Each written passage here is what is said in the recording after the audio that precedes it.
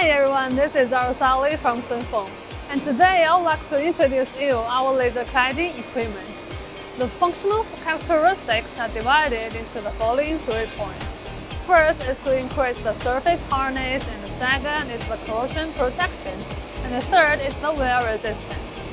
And now you can see the blades in an irregular shape applied to the steam turbine. So we use our robotic laser cladding equipment today and the customer's requirements are really simple. That is to enhance the surface hardness and increase the wear resistance so as to prolong the service time.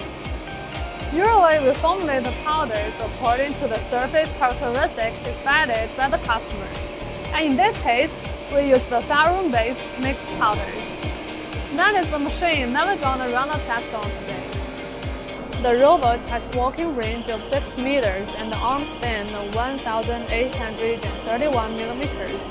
It can also be customized for longer and larger parts according to your machining needs. The whole machine system is stable and has multiple uses, which can realize the cladding of axial surface, curved surface, and special shape parts. As for the powder feeder, we have the double barrel pneumatic one as standard.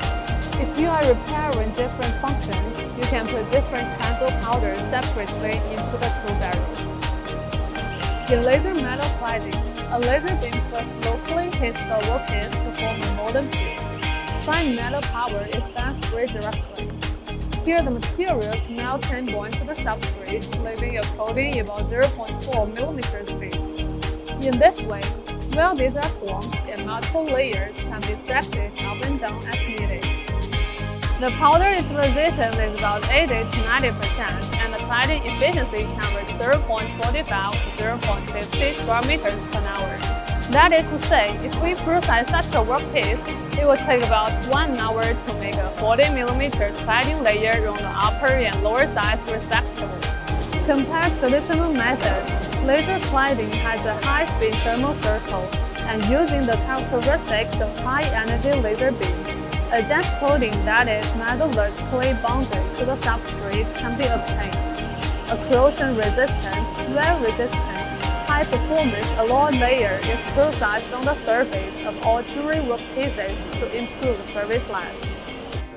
But the work is not done Our quality inspectors will use the professional equipment to conduct some inspections on the workpieces.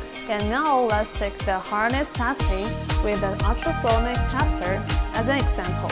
Let's go.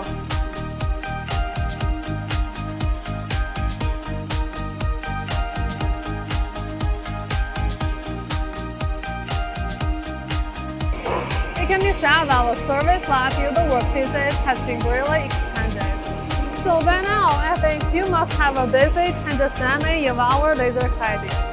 If you have any questions, please follow Sunfeng channel or leave your message at any time. So see you next time. Bye.